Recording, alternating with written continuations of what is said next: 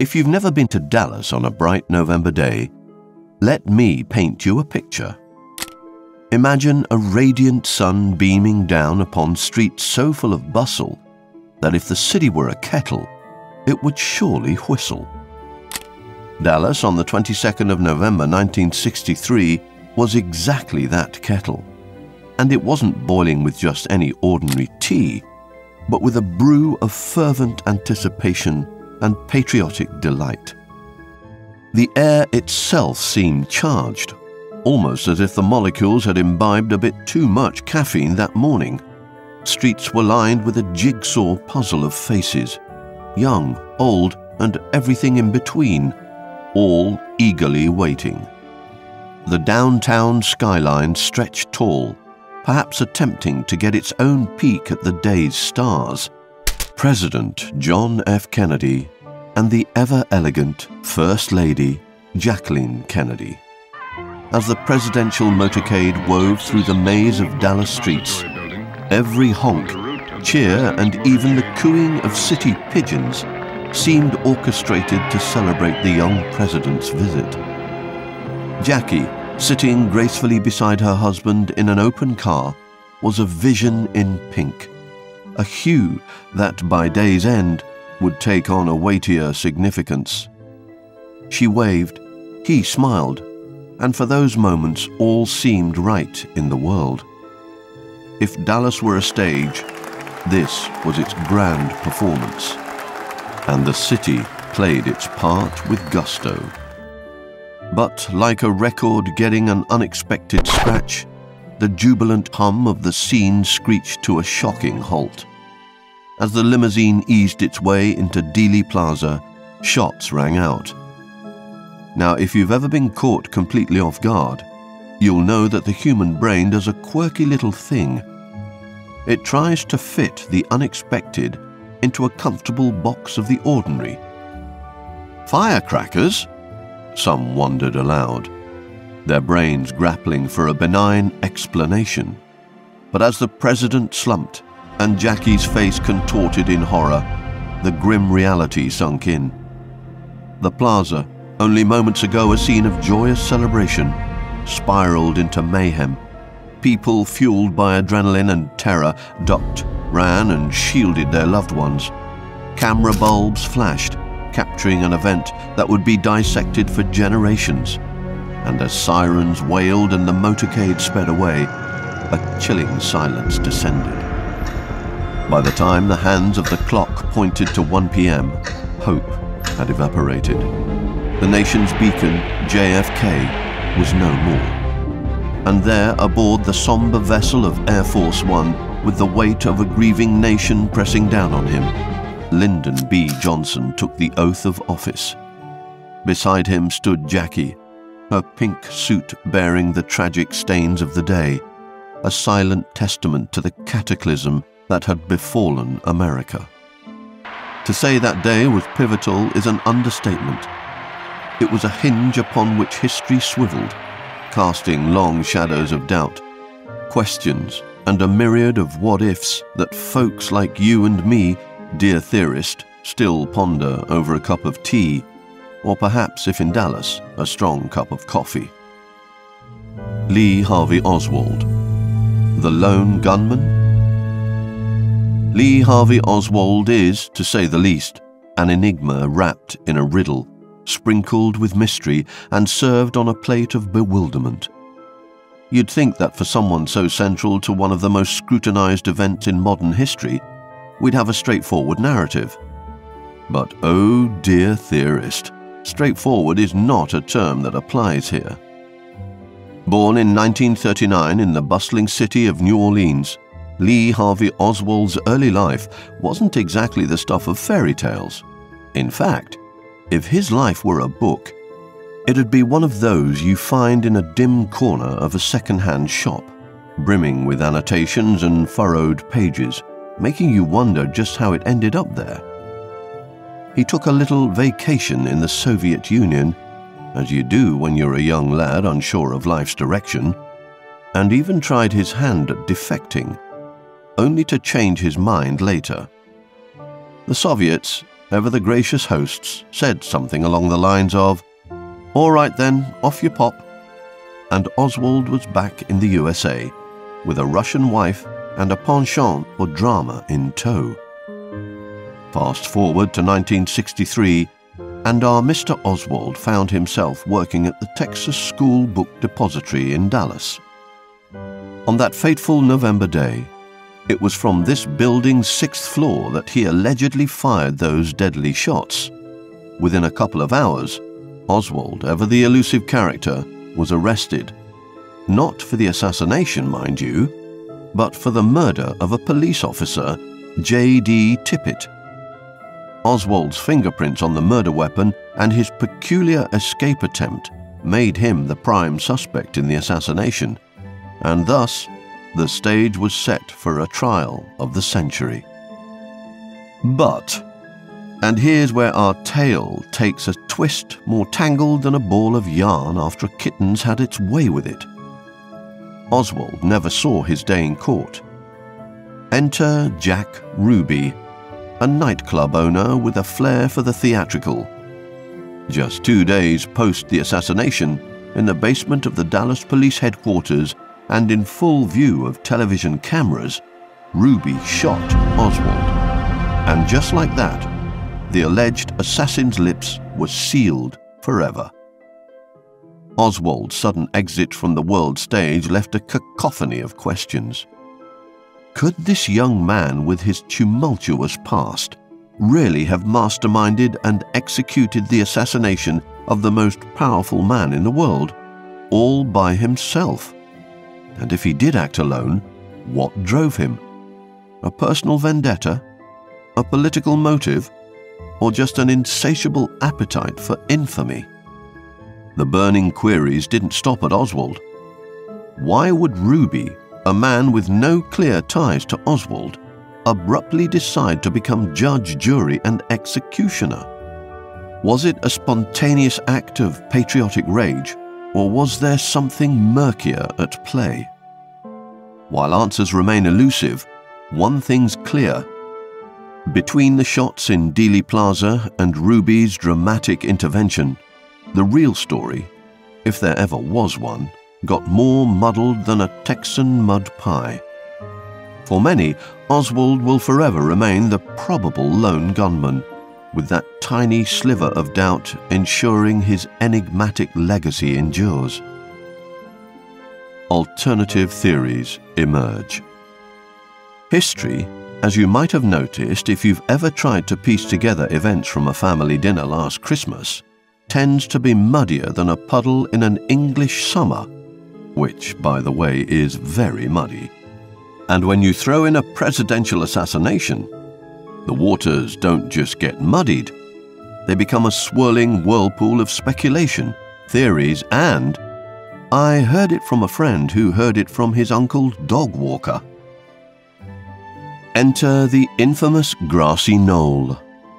Now, if you're imagining a peaceful hillock where poets muse and sheep graze, I'm afraid you're in for a surprise. This knoll, situated in Dealey Plaza, quickly became the epicenter of a storm of conspiracy theories. Witnesses claimed they heard shots emanating from its direction. Was there a second shooter? Was the knoll, with its picturesque white picket fence, a sniper's paradise? Over the years, this modest mound of earth has been analysed, scrutinised, and theorised more than any other piece of landscaping in history. Just when you thought things couldn't get any odder, along came the Umbrella Man. On that sunny, fateful day in Dallas, amidst the waving crowds, one man stood holding a large black umbrella. Odd choice, you might think given that not a droplet of rain was in sight? Was he shielding himself from the Texas sun? Had he misread the weather forecast? Or was there a more sinister purpose? This lone individual, sticking out like a polar bear in the Sahara, became the subject of endless speculation. Some said he was signaling the shooters. Others proposed the umbrella concealed a weapon a bit James Bondish, if you ask me. Later, the Umbrella Man was identified as Louis Stephen Witt, who claimed his odd accessory was a form of protest against JFK's father's appeasement policies. Talk about a nuanced political statement. Now, if you're the sort who enjoys an elaborate conspiracy theory as much as a rich, layered trifle, then you're in for a treat. Over the years, many fingers have been pointed in various directions, each more tantalizing than the last. First up, we have the Mafia. Some say they were peeved at the Kennedys for cracking down on organized crime. Next, there's the CIA, because no conspiracy theory buffet is complete without the main course of shadowy government agencies with hidden agendas. The plot thickens with whispers of disgruntled anti Castro Cuban exiles, upset over the Bay of Pigs debacle. It's almost as if half the Western Hemisphere had a bone to pick with poor JFK. While most of these theories are heavier on drama than concrete evidence, they do showcase humanity's infinite capacity for imagination. And who knows, somewhere in that labyrinthine mess of theories, there might just be a kernel of truth. In the end, though, as with many such moments in history, the JFK assassination remains a canvas upon which society projects its fears, its mistrust, and its unending quest for the tantalizing thrill of the what if. The Warren Commission and Skepticism. In the aftermath of the JFK assassination, the US government, with all its boundless wisdom and equally boundless paperwork, birthed the Warren Commission Led by Chief Justice Earl Warren, this group was entrusted with a task that would make anyone's head spin faster than a top on a polished floor unravel the intricate web of the Kennedy assassination and present the truth to a rattled nation. Now, in an ideal world, one would imagine this team assembled like a league of extraordinary gentlemen, and they were indeed all gentlemen, sitting in dimly lit rooms, poring over evidence with magnifying glasses and occasionally exclaiming, Eureka! But real life, as we often find, is slightly less cinematic. After about 10 months, which in government time is equivalent to hastily slapping together a sandwich during a lunch break, the Commission produced an 888 page report. Its verdict Lee Harvey Oswald, that bewildering young man with a history as complex as a Tolstoy novel, acted alone. No second shooter, no grand conspiracy, just one man, one rifle, and a tragic trajectory. Ah, but dear theorist, humans are curious creatures. We're the same species that insists on pushing a door even when there's a giant sign screaming, Pull! So it's hardly surprising that the public looked at this neat official narrative and said, Well, that seems a bit too tidy, doesn't it? Many found it hard to believe that such a seismic event, one that shook the core of American society, could be the work of a single individual. Where were the shadowy figures, the intricate plots, the Machiavellian machinations. The Commission's report, thick enough to serve as a formidable doorstop, was seen by some as rushed, though, to be fair, anything less than a decade's investigation would probably have felt too hasty for such a profound tragedy.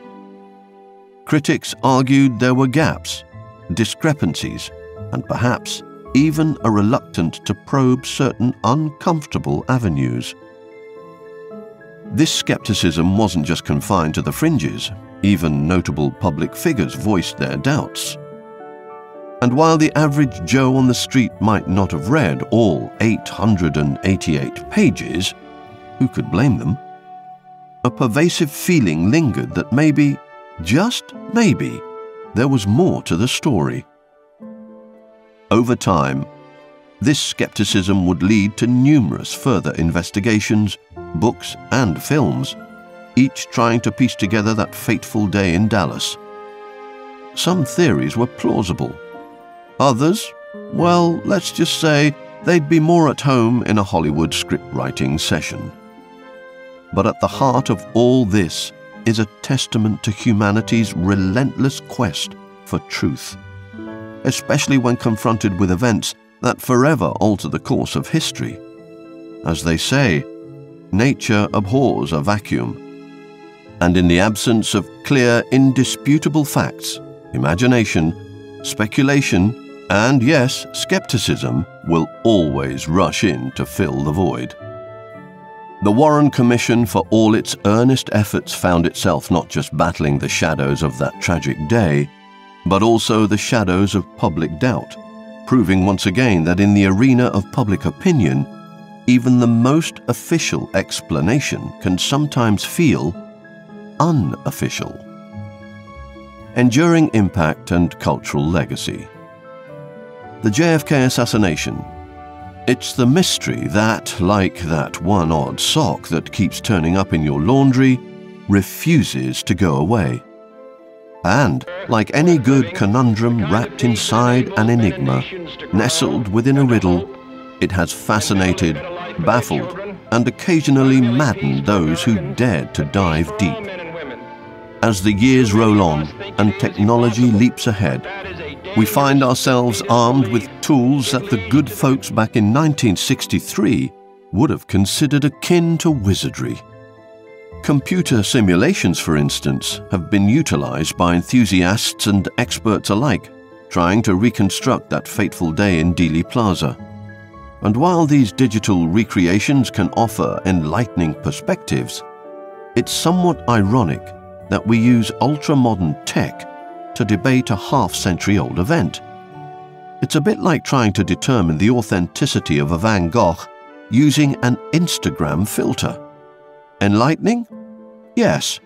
Conclusive? Well, that's another story. If there's one thing the human species loves, it's a good tale. And the JFK assassination offers intrigue in spades. Hollywood, being Hollywood, couldn't resist. Enter films like Oliver Stone's JFK, which while dramatically compelling, might make a historian twitch involuntarily. But it's not just the silver screen. From documentaries that promise new insights, usually aired during ratings season, to books thicker than a brick, the tale of that day in Dallas has been retold, rehashed, and occasionally reinvented. And while every interpretation has its merits and its critics, they all underscore one thing our collective obsession with that moment in history. As the saying goes, if JFK's assassination didn't exist, pop culture would probably have invented it. So, what is it about this particular moment that's so alluring? Beyond the tragic loss of a charismatic leader, the JFK conspiracy taps into a deeper wellspring within the American psyche. Perhaps it's a distrust of neatly packaged official narratives, or the unsettling feeling that behind every tragedy, there's a shadowy cabal pulling the strings. Or maybe it's just that innate human desire for a tantalizing mystery especially one with so many colourful characters and plot twists. The event becomes a mirror, reflecting society's broader anxieties, suspicions and doubts. It stands as a testament to the persistent and often maddeningly elusive quest for truth. And as with all such quests, the journey often becomes as significant, if not more so, than any potential destination. In a way, the JFK assassination, with its myriad theories, controversies and debates, serves as a poignant reminder. It's an emblem of the human condition. Our need to understand, to make sense of the inexplicable, and perhaps above all, to craft narratives that help us navigate the complexities of a world that often seems as mystifying as it is mesmerizing. In the end, Whether one believes in a lone gunman or a sprawling conspiracy, the JFK assassination remains an indelible chapter in the annals of history and imagination. A tale that, regardless of where the truth may lie, will likely continue to captivate and confound for generations to come. If you enjoyed this conspiracy theory deep dive, you can buy my book Conspiracies on Amazon and order the full audiobook on Audible, where I delve even deeper into the labyrinth of modern myths, guiding you through a mesmerizing journey of the most tantalizing conspiracy theories of our age. Links in the description below.